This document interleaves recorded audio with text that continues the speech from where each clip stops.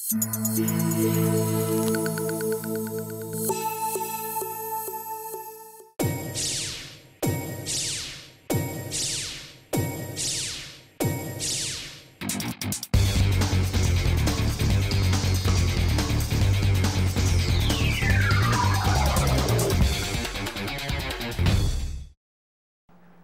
Amigos do esporte, muito boa noite. Está no ar Esporte na TV, o nosso encontro diário aqui na Vale TV. A partir de agora vamos falar de esporte, o que se faz sempre de segunda a sextas-feiras, né?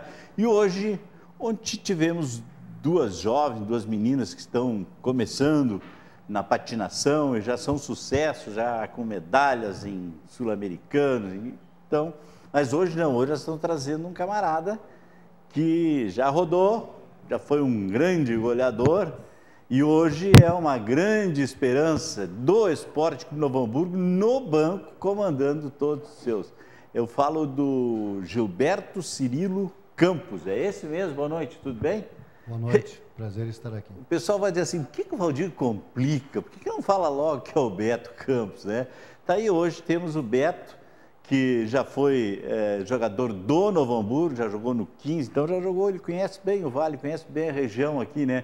E hoje no comando técnico da equipe do Novo Hamburgo, e hoje veio nos fazer uma visita e a gente está aí para poder saber um pouquinho mais do Beto, saber um pouquinho mais dessa equipe do Novo Hamburgo e dessa expectativa toda que o Novo Hamburgo tem de fazer uma boa competição. Seja bem-vindo ao nosso programa, Beto. Obrigado. Beto, que, é, qual a, a época que tu jogaste no Novo Hamburgo? 91, né? O Novo Hamburgo estava na, na segunda divisão. É, vim do São Luís, onde a gente em 90 teve um acesso lá, né? E 91 fui contratado, naquela época o presidente, o Sérgio Chunardi, que hoje está novamente aí com nós. Sérgio Chunardi e Jorge Lopes, Jorjão. Jorjão, e o técnico era o Joubert Pereira, né? Joubert. É, e tivemos a felicidade de, de, fazer uma bela campanha, é, era um, uma divisão de acesso um pouco diferente da, da, da, de hoje, né?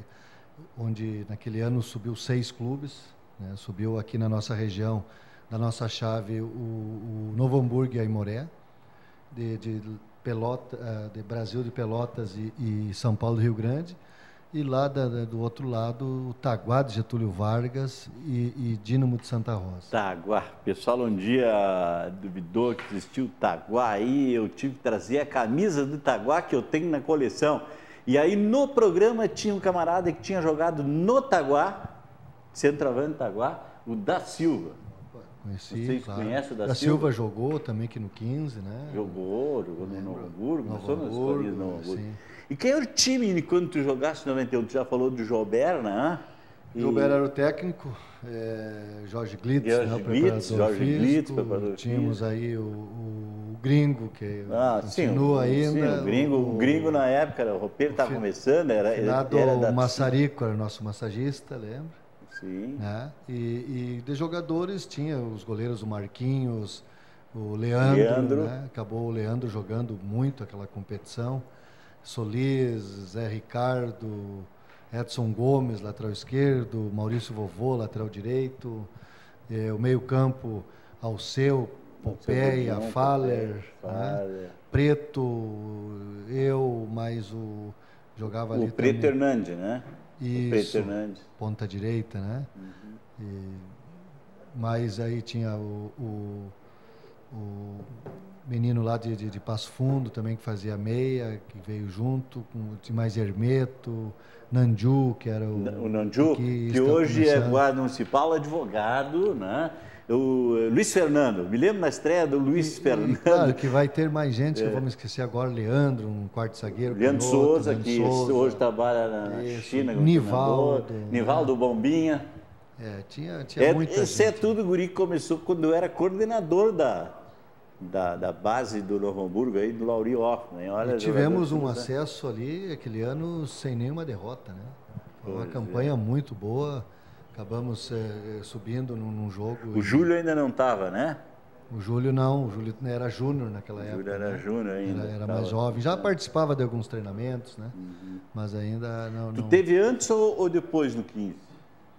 Eu tive depois, no 15, a primeira vez, eu tive duas vezes no 15, 97 e 99. 97 a gente fez uma bela campanha também, né? Chegasse com, a pegar com o Witton Fritzen. O Witton Fritzen. Depois, em 99, com o Cacau. O Cacau, o e, Cacau e, e o Bartz. Isso, depois, em 99, eu vim também para o segundo semestre para o Novo Hamburgo, que estava na divisão de acesso de novo, naquele ano. Né? Só esse ano, infelizmente, a gente não conseguiu ter, ter, ter, ter o acesso, até porque uma campanha, o Novo Hamburgo foi bem irregular né, naquela competição.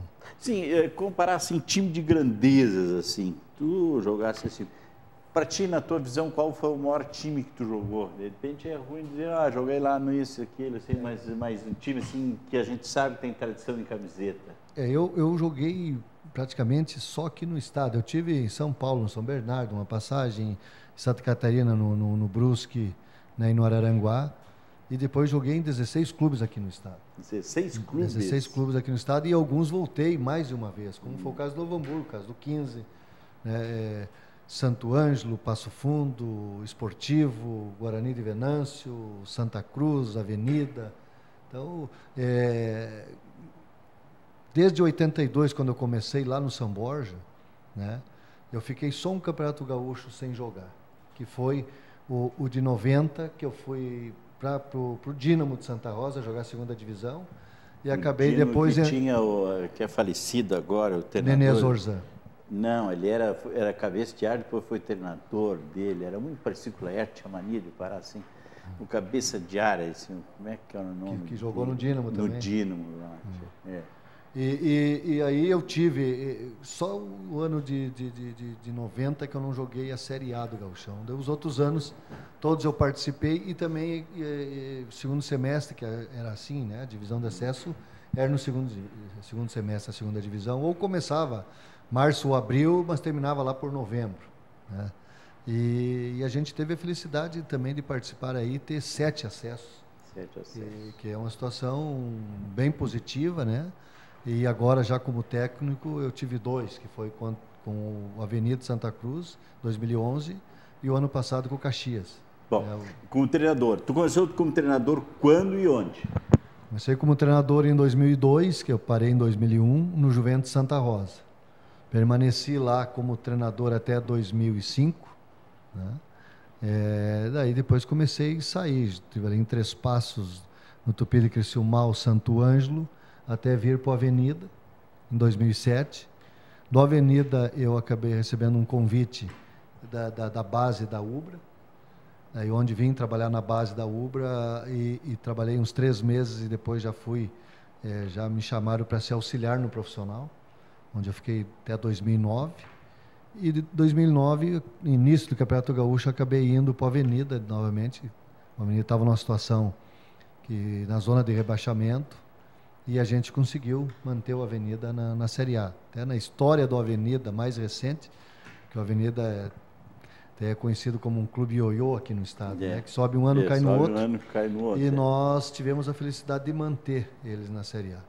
Periquito, Depois disso, né? Periquito, exato. Depois passei, fui para o Pelotas, fizemos uma bela campanha, que o Pelotas eu acabei saindo no final, o Pelotas teve o acesso.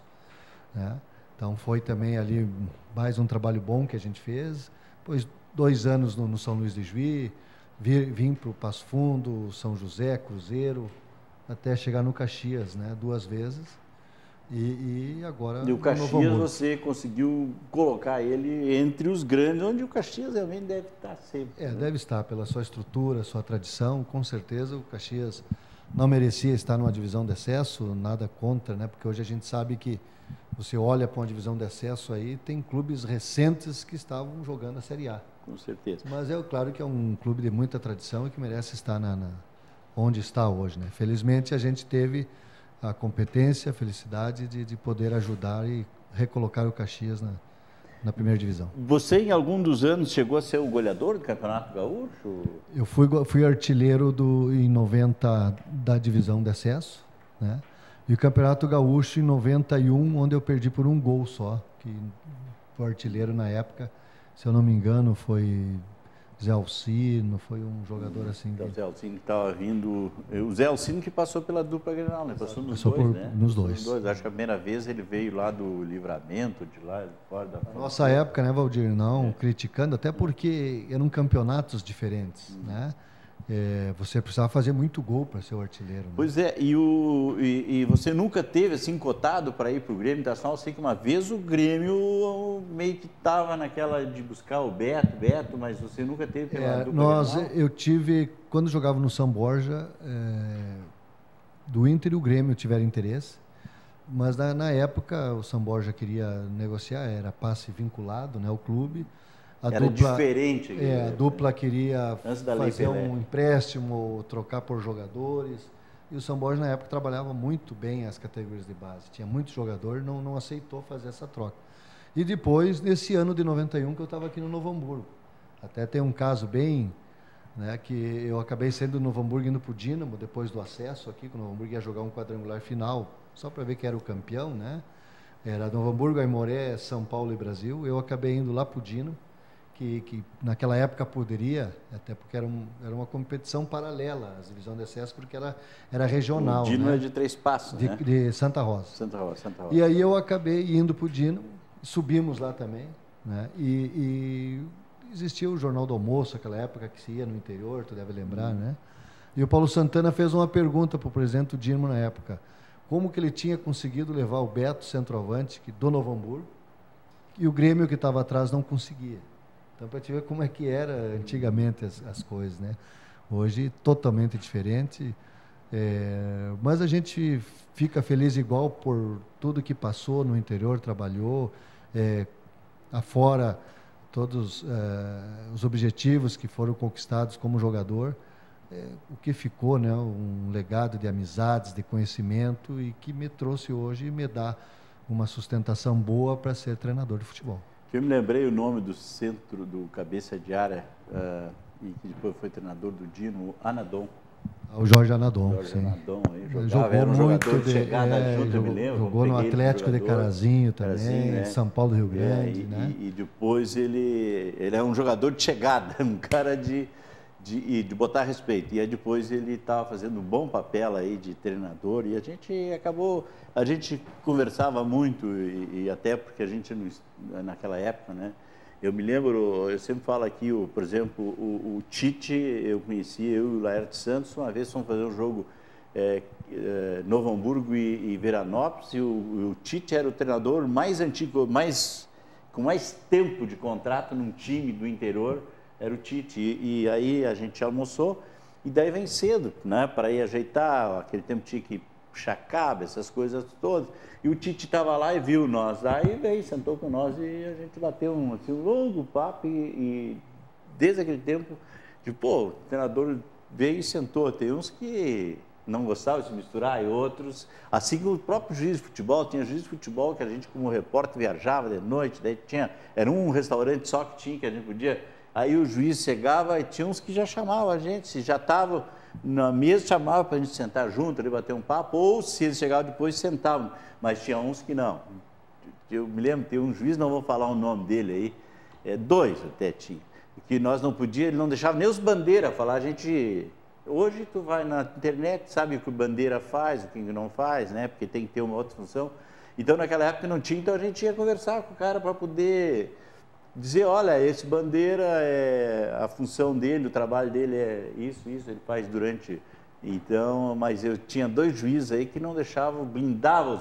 Diziam, não, não, bandeira não tem que conversar com repórter, porque repórter do interior, se fosse da capital, daí podia, né? Tem aquela diferença toda. Mas, Beto, é, a gente já soube um pouquinho de ti agora e agora a gente vai querer saber sobre o Novo Hamburgo. O torcedor do Novo Hamburgo está na expectativa de saber ah, o que, que podemos esperar dessa nova equipe no Hamburgo, mas depois da mensagem dos nossos apoiadores cultural, porque nós não podemos, nós não estaríamos aqui agora conversando se a gente não tivesse nossos apoiadores.